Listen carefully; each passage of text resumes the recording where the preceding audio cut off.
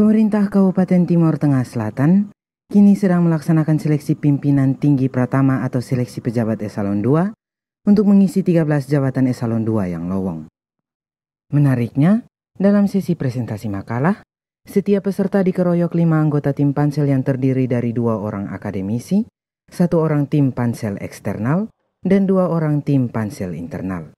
Ketua Tim Panitia Seleksi atau Tim Pansel yang juga Sekda TTS Seperius Edison SIPA kepada KLTV News di kantor BKP SDMD Senin 4 Desember 2023 menjelaskan, seleksi sudah berlangsung sejak tanggal 27 November, diawali dengan seleksi administrasi.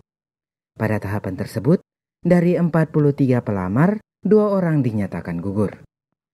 Pada tahap seleksi kompetensi tim asesor, satu orang tidak melanjutkan seleksi karena sakit. Menurut Sekda SIPA, seleksi kompetensi sudah selesai dan kini masuk tahapan seleksi di tingkat pansel, yakni presentasi makalah dan wawancara akhir. Direncanakan proses seleksi akan berakhir pada tanggal 9 Desember 2023 mendatang. Selanjutnya dikirim ke KASN. Rekomendasi KASN akan dijadikan rujukan untuk agenda pelantikannya. Untuk tahap pertama, untuk seleksi kompetensi sudah selesai, dilakukan oleh tim asesor dari BKD Provinsi Nusa Tenggara Timur dari tanggal 27 sampai dengan tanggal 2. Hmm. Dan sekarang mereka sedang mengolah nilai. Hmm. Hari ini kami masuk dengan seleksi apa presentasi makalah dan dilanjutkan dengan wawancara akhir.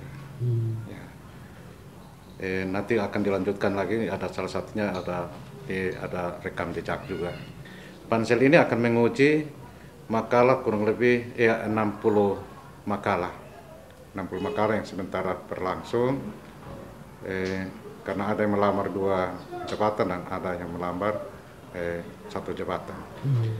Kami akan lakukan apa, apa seleksi mulai dengan menilai makalah, presentasi sampai dengan wawancara akhir akan berakhir pada tanggal 9 Desember nanti. Hmm.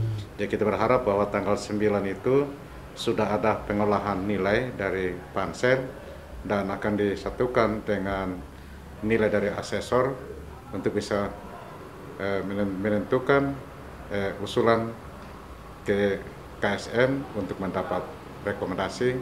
Setelah mendapat rekomendasi dari dari KSN, baru bisa dilantik oleh Bupati Timur Tengah. Selatan. Bupati Timur Tengah Selatan Tahun yang diwawancarai mengatakan ada 40 orang yang ikut bersaing untuk menduduki 13 jabatan eselon 2 yang lowong. Otomatis, ada 27 peserta yang nantinya tidak terakomodir. Yang tidak terakomodir harus berbesar hati dan tetap mempersiapkan diri pada kesempatan berikutnya. Ya saya berharap kepada teman-teman yang ikut seleksi, tidak mungkin semua bisa nilai sama pun pasti ada untuk yang membedakan.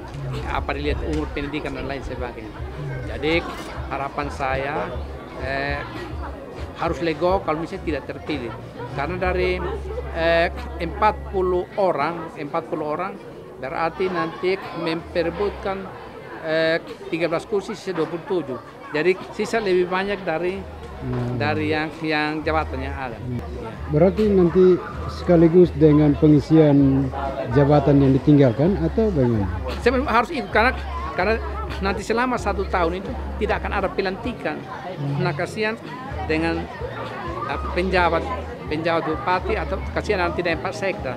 Hmm. Karena nanti pilihan kepada masyarakat agak terganggu. Hmm. Terganggu karena eh, jabatan begitu banyak yang long. Hmm. Ya saya berharap kalau bisa dilantik sekaligus atau duluan kepala dinasnya baru eh, sekretarisnya atau eselon 3AB. 3AB. Polcelere KL TV News mewartakan.